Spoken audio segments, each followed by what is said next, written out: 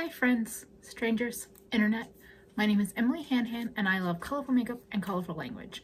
And I am so excited to be back again with another new makeup nonsense. We are going through new makeup releases, talking shit, marking things off of our bingo card, and taking drinks. Today I have a kind of bourbon cherry cola situation. And if you've never seen one of these videos before, this is something that I do in collaboration with Theresa is Dead. And we do it whenever we can get our shit together, to be quite honest. We pick out things to talk about. We use, or I use a wheel spinner to randomly pick. We basically pick these randomly and we have a bingo card that we're trying to hit bingo on. Every time we hit a spot on the card, we take a drink. And technically you play the game so you get bingo. It's kind of late around this part, so I'm if you just saw the camera move, what I was going to say is that it's kind of late around these parts when I'm filming this and my cats are being basically the biggest pains in my ass right now. They decided it's their playtime while I'm filming, even though they've been perfectly quiet for like three hours now. So if you hear random noises in the background, that's what's going on. If you drink, make yourself a drink. If you more, if you're more of a good Christian tobacco kind of person, get yourself set up that way whatever you want to do, play along with me. If you want to film these videos, we have a whole playlist, tag, resources for the bingo cards, everything in the description box. Um, but whether you're playing on your own or following along here, hope you enjoy and let's get into this. So the very first thing up is this Em Cosmetics Magic Hour collection. This includes a six pan eyeshadow palette that is $38 Okay, a radiant blush that is $34. A lip cushion lip luminizer that looks like one of those like skinny lip formulas that's that sheer and glossy and has hyaluronic acid and vitamin E in it. Okay. Em Cosmetics is one of those brands that almost feels like it's like the older sister to Glossier where it feels just a little bit too cool for me, but I'm also super fascinated in what they're releasing. So I think this whole like monochromatic color story, I'm, I love that. Like, I think that's so pretty. I love brands that are doing this, like a play on one color, but kind of taking it more dimensional. I feel like like Charlotte Tilbury is kind of doing that at a higher end scale with Pillow Talk. This Magic Hour thing is beautiful. I think it's kind of soft and springish. It doesn't necessarily feel holiday-like, but you know, if you're looking to build your brand and not just build a holiday release, I see going into this direction. That eyeshadow palette is like, okay, that eyeshadow palette draws me in. Like if it was more in the $27 price point, I think it's a good alternate option to like the Huda Beauty New Nudes, like the Fair Fair palette. It is pretty, but it's very, very like neutral and soft. Uh, I don't know about $38 for that though. That feels like a high price point, but I do think they're pretty. I think they are aesthetically very pretty and I see kind of the vision behind this collection. Okay, so the next thing up, we don't always talk about very, very luxe brands. This this is a release from Chantecaille. This looks like it's their holiday release. I had to add it in to our mix because it's just that, mm, everything about that is beautiful. So this is their holiday collection. Um, their lipsticks are $51 each. Oh, okay, uh, they're called lip crystals. They're a luminous pearl infused formula amplifies lips with blasts of sparkling color and dimension, giving them a spectacular shimmer finish. They also have uh, two different powders. One is an Eclat Brilliant that is $92. Um, it's an embossed powder that's just oh, gorgeous. And then there's an Eclat Doux, which is more of a blurring finishing powder. But these two powders, the packaging, the lipsticks, like, mmm, yeah, they're gorgeous. There's a lot of luxury brands out there that I look at and I don't understand the luxury behind it. I don't get it. I don't think the packaging is particularly gorgeous or it's just not my aesthetic.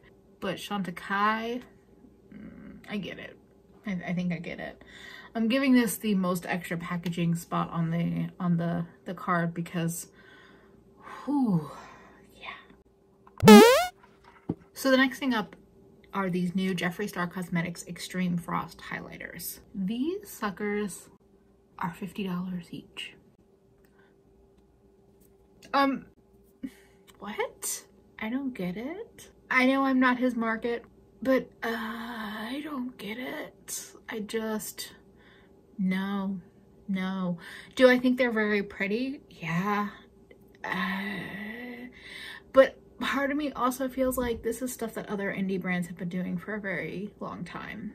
I also felt like when I saw swatches of the highlighter, like um, finger swatches, or not even finger swatches, just all in the fingers, the texture kind of reminded me of the Kat Von D Metal Crush highlighters mixed with the ABH Dream palette. The, the price point alone, I'm, I'm having a hard time even thinking of, of like, no, no. Mm, mm, mm, no, no, no, no, Yeah, I think for all those reasons, I'm giving that release major copycat vibes. I think there's a lot of like, oh, this is the most amazing, newest, different thing ever with that brand in particular, and I, I don't see it here. I don't see it with this release. oh, well, might let us get them get them done back to back. Uh, next one up is the Jaclyn Hill highlighter release. I made a whole video about this. I mean, not just about Jaclyn Hill, but her highlighters inspired a video that, from me and from Lacey. You know, if you wanted to hear in-depth thoughts about her, feel free to go check out that video. I'll have it linked in the cards. Yeah, I just, no. Mm-mm, no, no, no. This is a product that won't die. This is a brand that won't die. This this brand just needs to go away. Th yeah, no. My drink has actual chunks of cherry that have been soaking in bourbon in, in it, so that's what you just saw there. So next thing up is the Shiseido collaboration with Frozen. Okay, uh, this is only available in Japan, so I'm sorry this is maybe a little bit of a tease. The packaging on this is really, really pretty. It's annoyingly pretty. It's annoyingly pretty. The lipstick or balm thing, anything with like um, a mosaic tile glass kind of effect, whether it's like home decor or makeup or anything, Mmm. Yeah, that's really pretty. I totally think the Frozen thing is way overplayed and doesn't really make a lot of sense in makeup in my opinion. But Shiseido did it right. But I'm going to give this a collab for with somebody that's not known for their makeup because no one's watching Disney princesses for their makeups. Oh, okay. So the next thing up is the Tribe Beauty Box in collaboration with Agnieszka. Agnieszka is also Angelica Nyqvist here on YouTube. And I bought this. So Tribe is a subscription box that I think goes out monthly. So it's five or six items in the box. You get to customize a bit. You get to pick either a more fair skin appropriate highlighter or something that's more appropriate for deeper skin. And then you get like an eyeshadow palette, one of those multi-chrome flakies, the highlighter, a brush set, and they're all indie brands. And Tribe Beauty Box has a focus on featuring indie brands, women-owned brands, and I think people of color-owned brands. So that all together, I was like, I am down for it. The brush collection are those gorgeous Cleona brushes with the crystallized handles. Speaking of like pretty frosty crystallized things. There's a palette from Glamlite, the highlighters from Makeup Geek. It's a lot of brands I've actually not tried before. It's a lot of stuff that I would not necessarily buy myself, but I would buy at that price point. It was $40 with shipping. Do I generally think subscription boxes are a ripoff? Yeah. This one though felt different. And I probably was totally swung into feeling that way because it is Angelica and because I could see all the products before buying it. And um, I'm pretty sure the little flaky eyeshadow thing that's in the box is a multi-chrome. So all the multi-chromes. So the next thing up is um, Rose Beauty. Now, uh, the day I'm recording this, Lacey actually just released an anti-haul and she kind of touched on Kesha and her feelings on Kesha and I felt very similarly.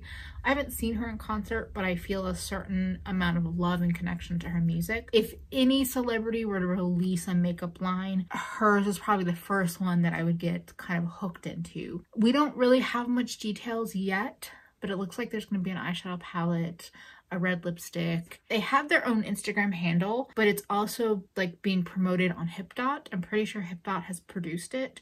And so I think HipDot is kind of presenting it as their collaboration and then Kesha is kind of presenting it as her new beauty line. So that's a little weird. I'm not to say I won't ever buy anything from this line, but we haven't seen anything yet. So HipDot is one of those brands that I've been seeing like palettes come out from them and I see swatches and they look beautiful, but I don't really hear anybody talking about them. So I'm kind of like a little hesitant to give them my money. If I was going to give them my money, it would probably be for a Kesha palette or something because I'm, yeah, mm, that's, that's who I am. That's, you can judge me all you want, whatever. But the other thing is I think I'm trying to find the picture that I was using as reference. It almost looks like the eyeshadow palette might be round. And that's kind of weird. I mean, it's not so weird, but it's kind of weird. I'm just not sure about it, but I am intrigued. But I know I shouldn't be. So, mm, we'll see. I'm going to give this the new influencer celeb brand because even though it's kind of a collaboration, it's also kind of a brand and no, no. Oh, this is fun. So Lethal Cosmetics, love of my life, has a new collection coming out called the Dreamsign Collection. They are releasing highlighters. Highlighters. Oh my goodness. Okay, so the Dreamsign Collection has highlighters. It has a new nine pan eyeshadow palette and lip glosses. They, they are all live now. The lip glosses are $14. The highlighters are $18.50 and the Dreamsign palette is $37. So Dreamsign palette has this like black hollow packaging that is so pretty. I don't think I want all nine shadows that are in that collection. What I'm hoping they'll do is that they'll let us take that nine pan palette and build our own special nine pan shadow palette because the packaging is gorgeous. But I don't think I want those specific colors. The highlighters look beautiful. Ionic, I think, is the one that's caught my eye the most. It's like the second to lightest one. They describe it as an ivory with rose quartz highlights. Oh, yes, please. The lip glosses I'm not as like drawn to, but um, I mean, they're pretty. They kind of go with the whole collection.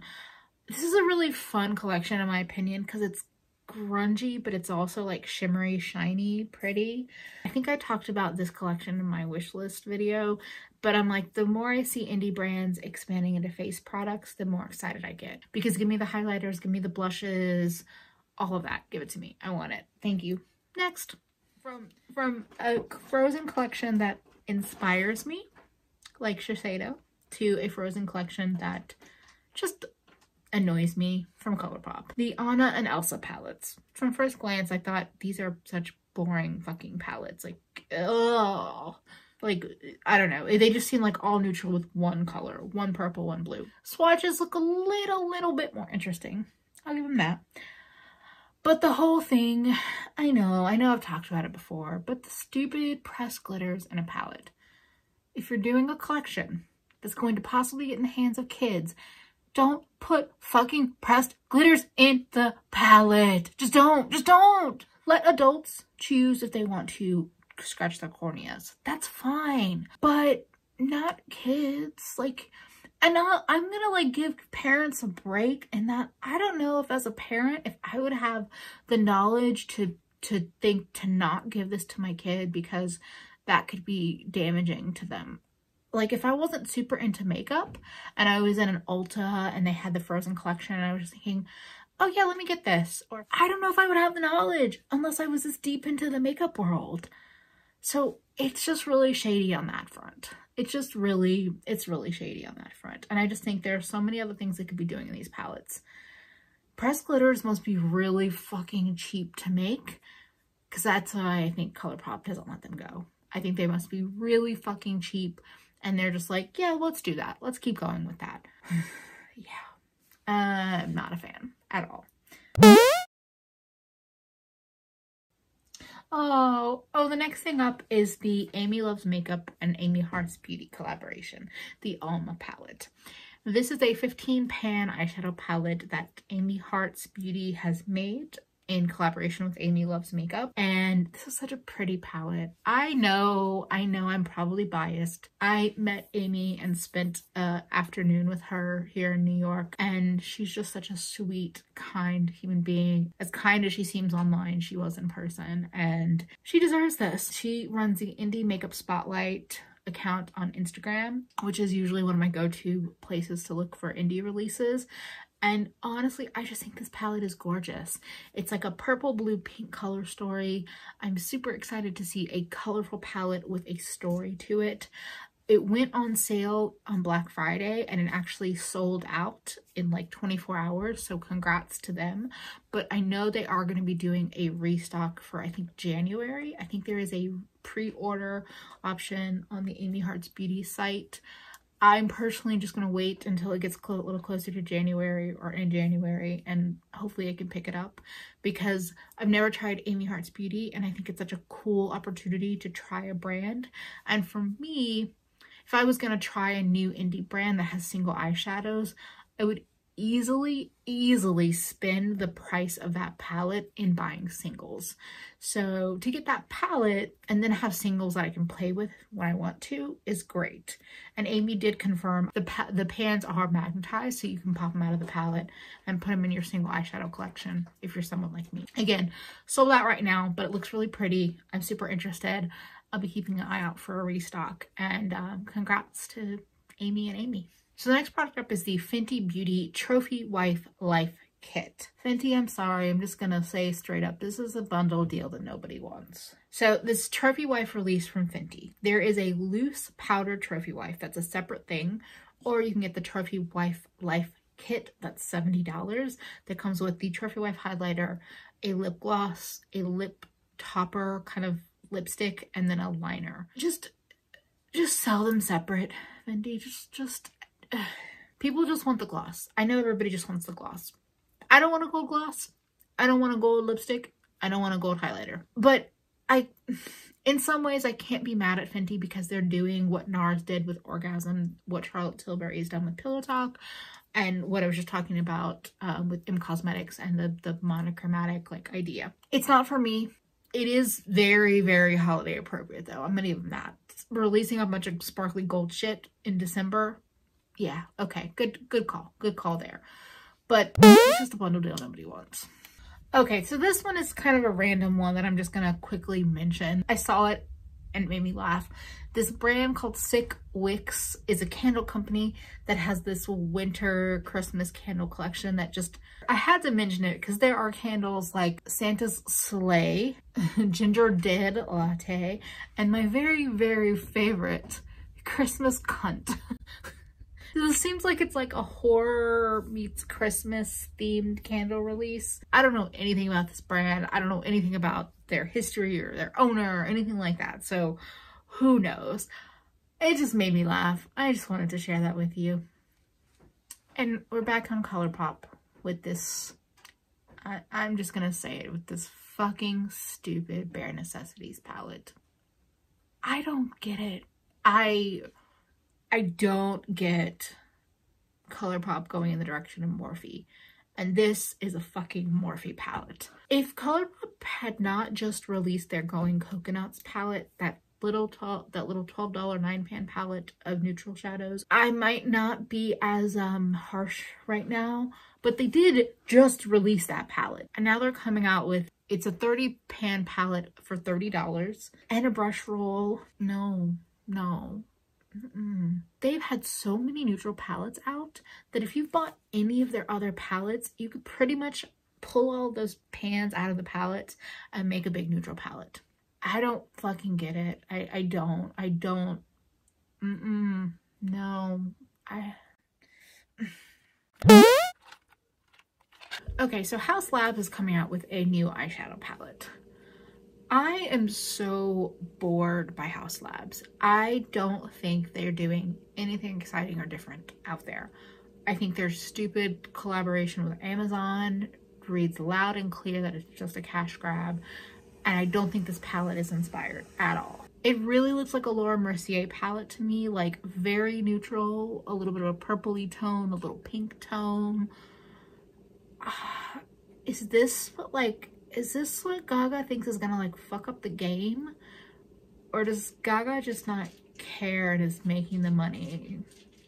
Probably just making the money. It doesn't, I, I don't even know if I have a spot on the card for it, but um, I'm drinking because what the fuck? Like, leave us alone, Haus Labs. I don't know why I included this, but I just thought I will I would mention. So at the very end of the Shane and Jeffree series, which yes, I was a sucker and watched six out of the seven ones. I didn't watch the first one. Anyway, I watched them all. I'm a sucker.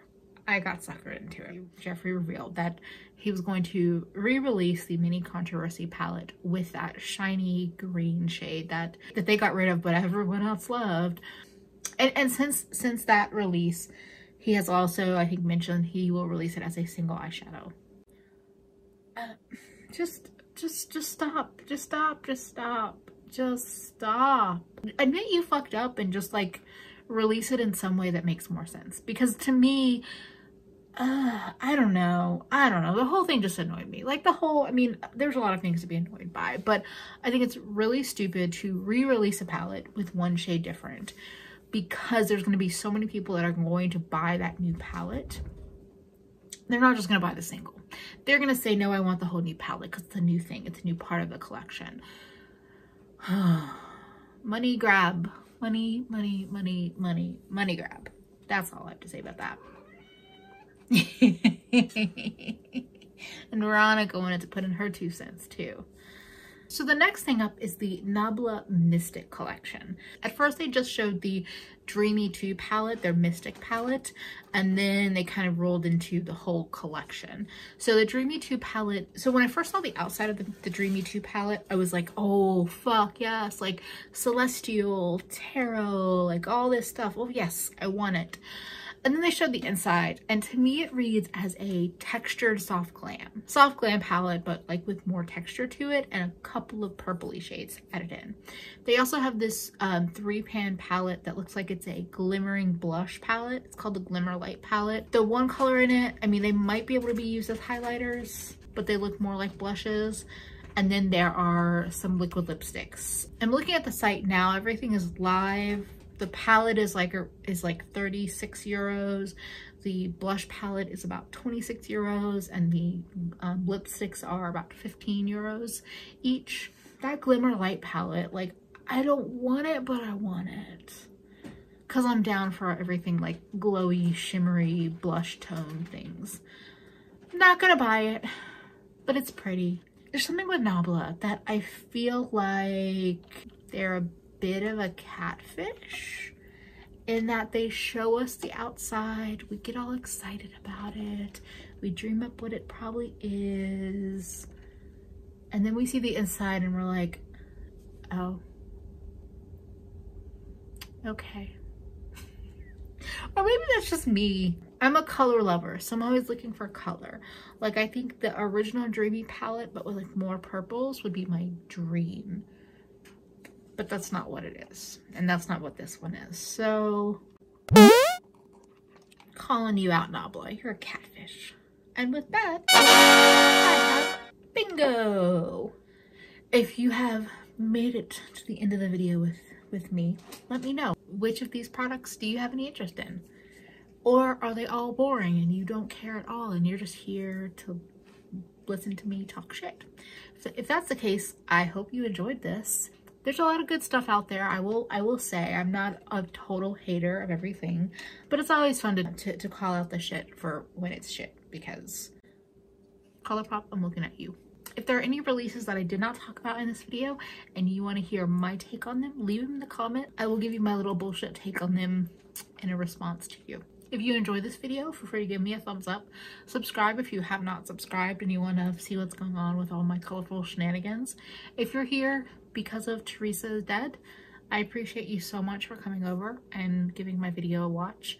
And if you don't know who Teresa is and you haven't watched any of her videos, go fix your life and do that. I'll have it linked in the, description box, her video for this new makeup nonsense. Uh, thank you to everybody that is watching, subscribing, commenting, you know, following me on Twitter and Instagram. I'm nomnivorous over there.